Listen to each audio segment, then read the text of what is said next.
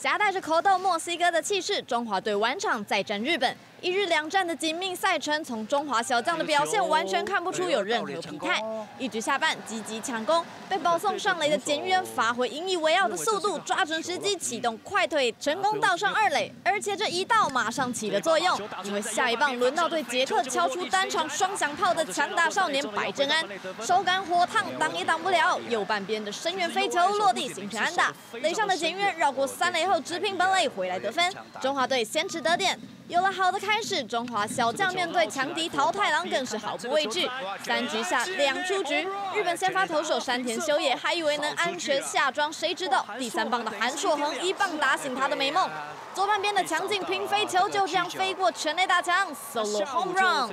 继早场的墨西哥站三分炮后，又是一发全垒打，连两场开轰，让全场球迷完全沸腾。队友也开心的扑上前，又拍又打。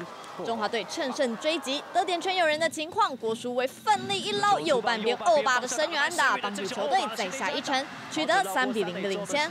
四局下再添一分的中华队大好气势，却在五局上出现变化。本场静悄悄的日本打线终于苏醒，一出局一二垒有人，第四棒的山口黄启重磅出击，扫到右外野方向出去啦！惊天动地的三分炮，不止追到仅仅一分差距，桃太郎更是点燃反扑希望。六局上满垒的大好机会，不仅林是卡出一支穿越一二垒防线的安打，成功送回追平分。日本来势汹汹的表现，也让接替投球的杨胜伟乱了阵脚。一个挖地瓜爆头，白白送给对手分数。桃太郎不但逆转超车，更靠着三支安打，反倒取得七比四的领先。眼看最后的反攻机会，中华队试图全力反扑。